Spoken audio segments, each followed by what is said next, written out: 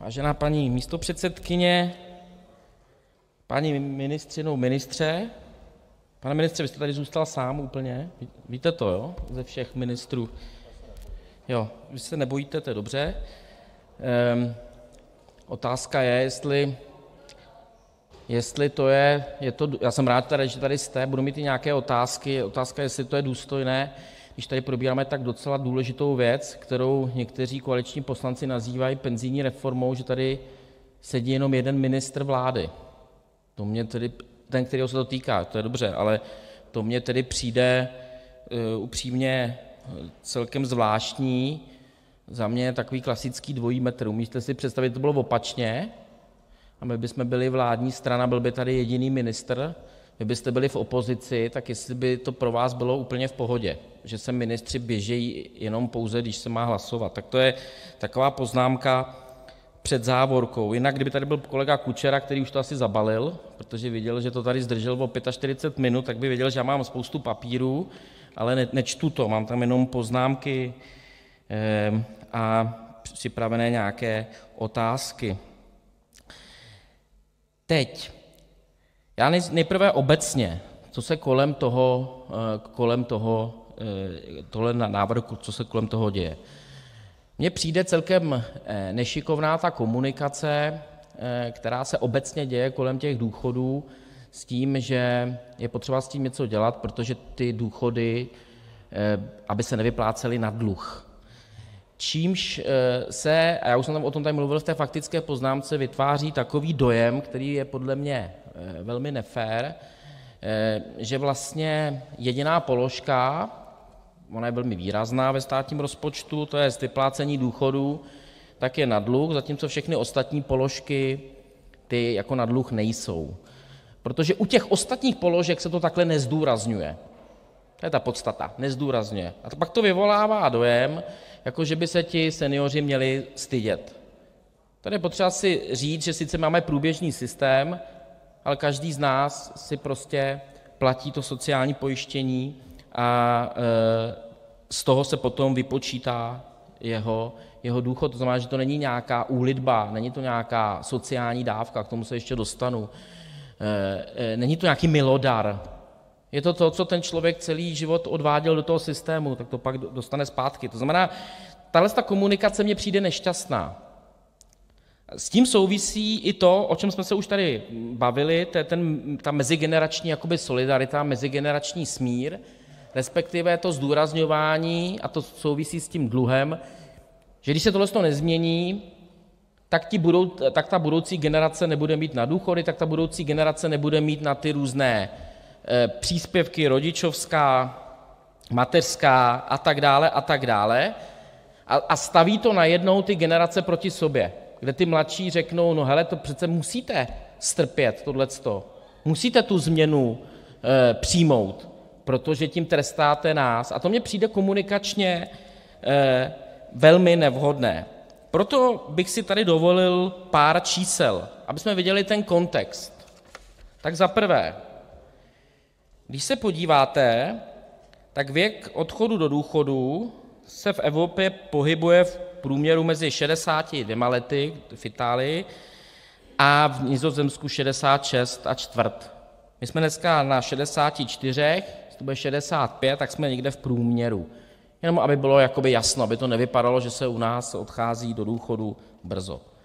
Druhé číslo, jaký je podíl těch výdajů na důchody na HDP, tak aktuálně je to nějakých 7,7, 7,8, tak se podívejme, u koho, u jakých zemí je to víc, abychom viděli ten poměr, ten kontext: Německo 10,2, Polsko 10,6, Rakousko 13, Francie 13,6, Řecko vynechám, abyste neřekli, že srovnávám nesrovnatelné, ale Itálie 15,9, to je ten kontext.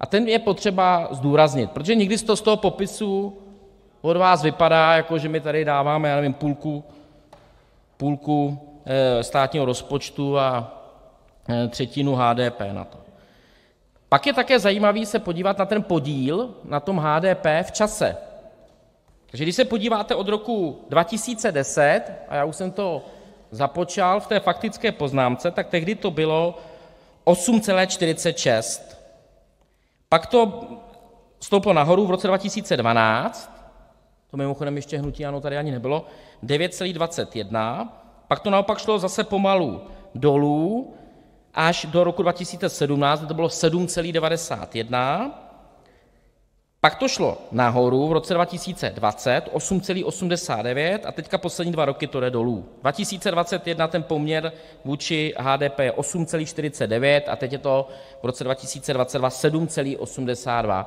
To znamená, že i ten poměr, když vidíte ve vztahu k ostatním státům, tak jsme v podprůměru, a ve vztahu k časové řadě, tak to žádný skok dopředu není, naopak poslední roky to klesá. Tím já vším nechci říct, že se nemá dělat žádná úprava, prosím pěkně, abych byl pochopen. Já tím jenom říkám, že ta komunikace kolem je velmi nešťastná a vyvolává úplně něco jiného než to, co možná vy chcete. Vyvolává nějakou i výčitky vůči seniorům, někdy i nenávist. Poslední ten obecný příspěvek k tomu je to, že vy u té části úpravy mimořádných valorizací tam s tou částí růstu cen ve 30 % počítáte s kompenzací dočasným přídavkem, což vlastně z toho ale dělá to, co já jsem říkal, že to je vlastně něco jako dávka, jako ten milodar, ale to přece takhle není.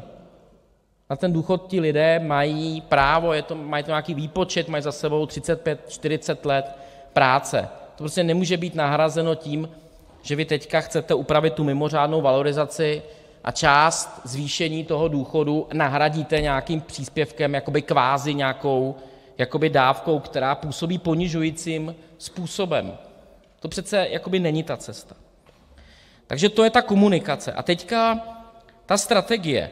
Já se chci zeptat, proč tyhle věci, které jsou důležité a je potřeba je řešit, to já zase neříkám, že ne, samozřejmě, já vidím ty poměry, jak se mění, kolik se rodí dětí, jaké to bude za 20, za 30 let, to zcela nepochybně, to se netýká jenom České republiky, ale celé Evropy.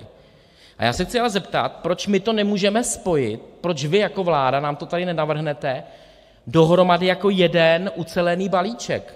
Tak my máme teď tisk 458, novela zákona o důchodovém pojištění, a pak máme tady tisk 474, který řeší ten třetí pilíř. A já třeba říkám, že za mě v té části, která se týká větší motivace, že to je v pořádku, že to podporuji.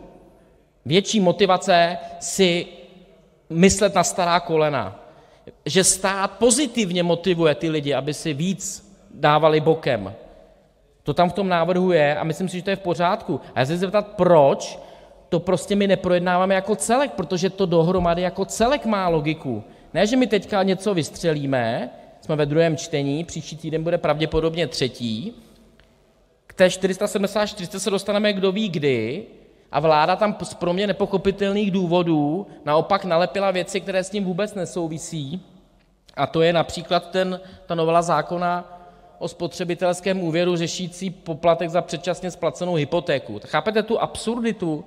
Tak my se tady bavíme o penzích, pro někoho o penzijní reformě, a přitom ve výsledku tady projednáváme jednu část, řekněme prvního pilíře průběžného systému, třetí pilíř budeme projednávat za dva měsíce, a místo aby to bylo dohromady, tak tomu třetímu pilíři vláda prostě připálí věc související s hypotékami, která s tím absolutně nesouvisí. To jsou prostě legitimní otázky, to, co já tady říkám, opozice, proč to neprojednáváme najednou. Protože s tím souvisí i to, že v tomhle návrhu není žádný pozitivní moment, jak jsem řekl, žádná motivace. To je prostě jenom to, že se v zásadě jenom tupě škrtá.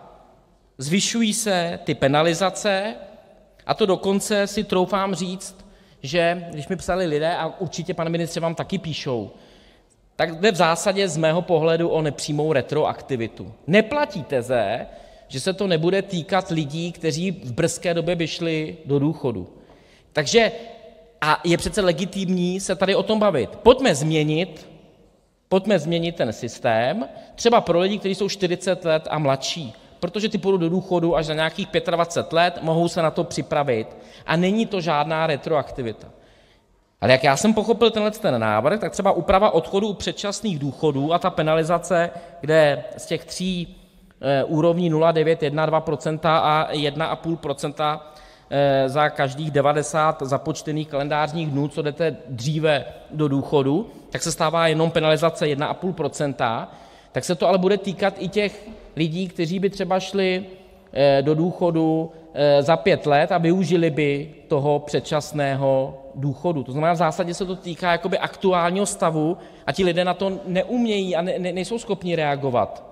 Takže můj druhý dotaz je, proč to neuděláte aspoň od nějakého věku, aby tam nebyla, říkám kvázi, nejsem právník, kvázi nepřímá retroaktivita, že se to vlastně týká už někoho, kdo třeba s něčím počítal, kdo už si to vypočítal.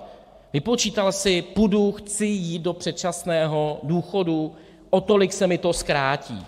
Ale tímhle tím návrhem se mi to zkrátí o víc. A není tomu člověku 40, ale je mu třeba 59 v téhle chvíli, takže už nemá takovou možnost.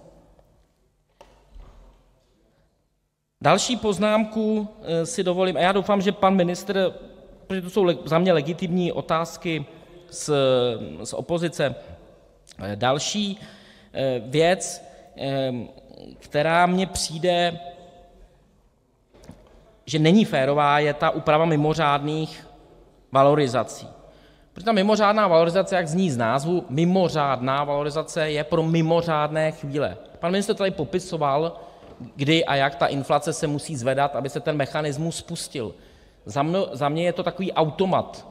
A já jsem radši za automaty v zákonech, a víte, že jsme se o tom bavíme, třeba když se mají zvyšovat nebo zamrazovat platy ústavních činitelů, že je vždycky lepší, když tam je nějaký automat, do kterého my permanentně nezasahujeme. A teď ta inflace klesá, protože klesají ceny energií celosvětově, tak je předpoklad, že ta mimořádná situace nenastane.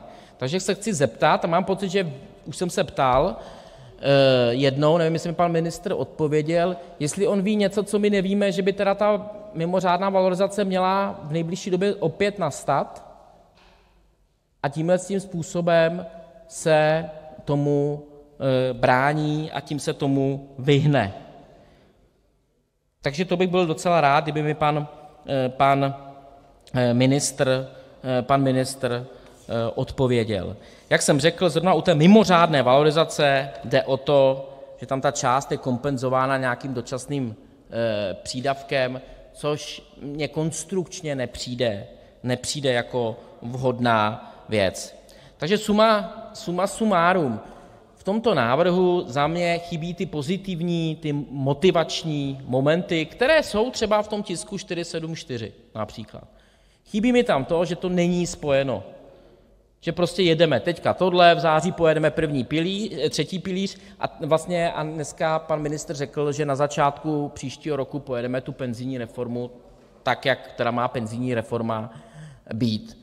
Já bych chtěl opětovně, opakovaně vyzvat a konzistentně, já jsem to třeba udělal ve vztahu ke stavebnímu spoření s panem ministrem financí, bohužel marně, protože to jsou všechno věci, které jsou na dlouhou dobu, na 20, na 30 let, aby vláda v tomhle překonala a přestoupila přes svůj stín a prostě vyzvala opozici k jednání o penzijní reformě jako o celku, ne že tady budou takhle jednotlivé jeho části, protože ono to jako celek dává smysl. Ono to není vždycky, jak vy jako jednoduše říkáte u státního rozpočtu, příjmy, výdaje. Tam, kde nechcete zvyšovat příjmy, řekněte mi, co škrtnete, ale ono to takhle není. A já vám to vysvětlím u toho stavebního spoření. Vy tady něco škrtnete, ušetříte nějaké prostředky, ale zároveň o nějaké prostředky přijdete, protože do toho státního rozpočtu samozřejmě lidi třeba, co rekonstruují, tak to odvádí na DPH. To prostě není úplně tak jakoby jednoduše účetní.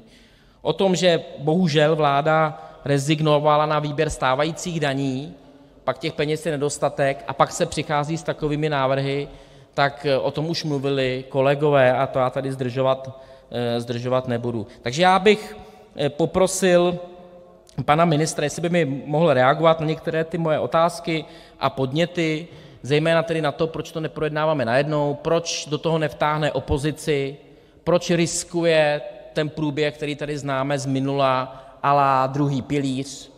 Já jsem tady nebyl v Poslanecké sněmovně, nevím, jestli Marian Jurečka tady tehdy byl, ale pamatuji si, že tehdejší opozice říkala: druhý pilíř prosím ne, neschvalujte to, my když vyhrajeme volby, my to zrušíme, není to dobrý finanční produkt, mimochodem, kdybychom se bavili o tom finančním produktu, tak to skutečně nebylo dobře promyšlené, neposlouchala tehdejší koalice, zavedla druhý pilíř, následně následující vláda ho zrušila. No ale takhle se přece nedá dělat penzijní reforma, mimochodem ta by měla být postavená i na tom, že jsou ty věci předvídatelné, předvídatelné. Já mám třeba penzijní připojištění 30 let, 30 let, asi na to nevypadám, aspoň to doufám, že tak nevypadám staře, ale už 30 let si spořím. A já potřebuji, aby ten produkt, a lidi to potřebují taky, aby to bylo předvídatelné, aby se ty podmínky neměnily v průběhu, aby se to týkalo vždycky do budoucna, a proto je potřeba ta domluva s opozicí. Takže já děkuji za pozornost, snažil jsem se tady dodržovat oční kontakt, kdyby tady byl pan Kučera, tak by mě třeba ocenil, mám tady spoustu papírů, ale nečetl jsem to, mohl bych to natahovat jako na dvě hodiny, ale chtěl jsem mít věcné otázky, které jdou k jádru pudla. Děkuji za vaši pozornost. Děkuji. Pane ministře, vy jste jako jediný přihlášený s faktickou poznámkou, takže když ji zrušíme, tak hned